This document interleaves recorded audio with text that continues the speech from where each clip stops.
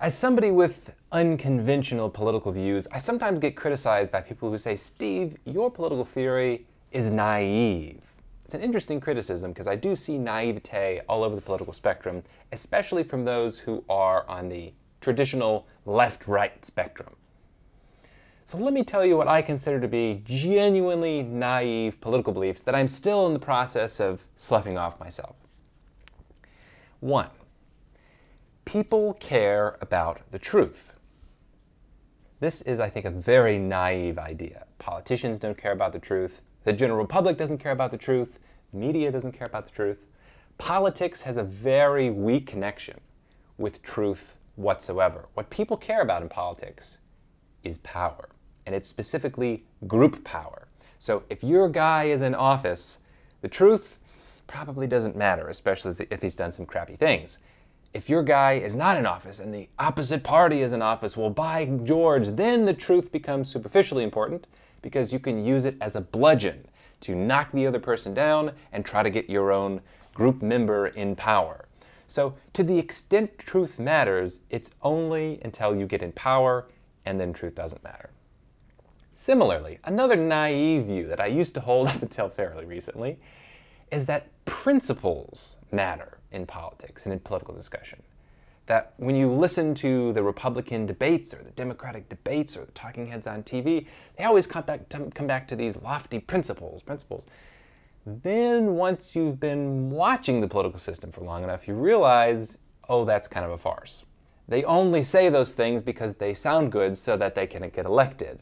The people, you know, the let's say the voting electorate only talks about principles for the most part because they think it makes them look better than the opposite party, who is spineless and without principles.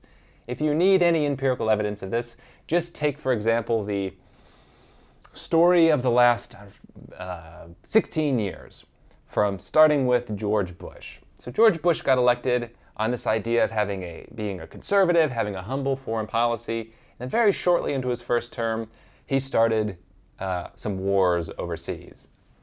Conservatives went from supporting a humble foreign policy and not supporting nation building to, yeah, man, if you're a patriot, we got to be involved overseas and we got to be involved in the Middle East to try to uh, set up a democracy there. Very short period of time, we had people who were supposed to be small government turn into big government. At the same time, you also had a great number of people who were self described liberals and Democrats be out in the streets marching against the Iraq war and against foreign intervention, said war is not the answer. I can't believe the savage that George Bush is. We got to stop this guy because he's immoral and killing people. Until Barack Obama gets elected and also engages in a bunch of overseas meddling, namely invading Libya, bombing Yemen, getting involved in both sides of a war, civil war in Syria.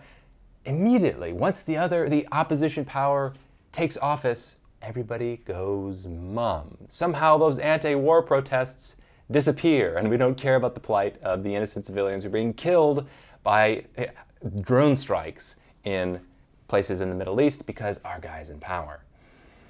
And then enter this current political election with Mr. Donald J. Trump, who, by any actual analysis of his ideas, is anything but a conservative.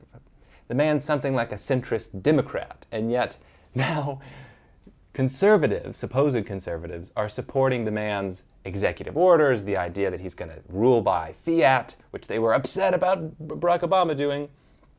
This is uh, what Donald Trump is doing, and yet they're not putting up a fight because truth doesn't matter, principles don't matter. What matters is power.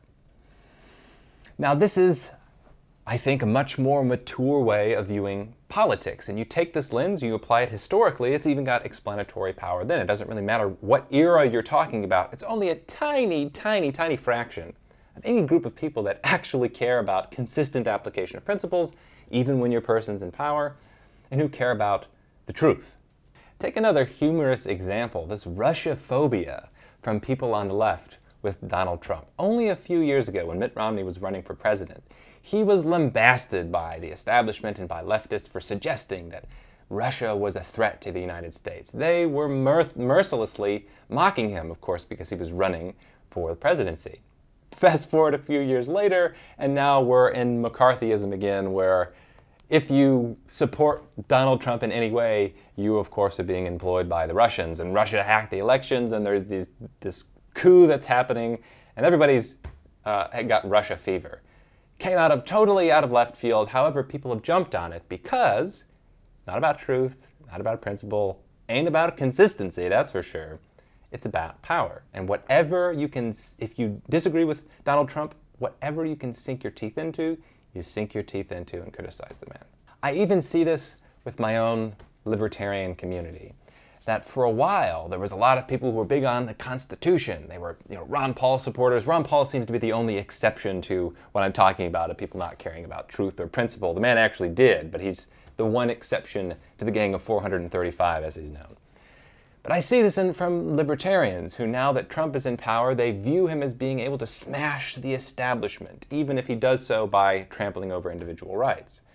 And suddenly, libertarians who used to be anti government, anti establishment, anti central power are now saying, well, if the ends justify the means, maybe we can, we can smash our opposition party a little bit and not criticize him so much. So I think that the truly naive are those who, who have hope and trust in the political system, that take these politicians and the media at their word, that when these debates are going on and politicians are just quacking about empty platitudes that make no difference in the world that they're not going to act on, act on, it's a sham. It's a, it's, a, it's a charade. It's the suckers who believe them the suckers who actually think that they're telling the truth and going to enact some lofty idealistic policy. I don't think that's the existing system of government. I think it's far more corrupt and hopeless than that. I think that the more skepticism and cynicism you have towards government, the more mature your political philosophy likely is.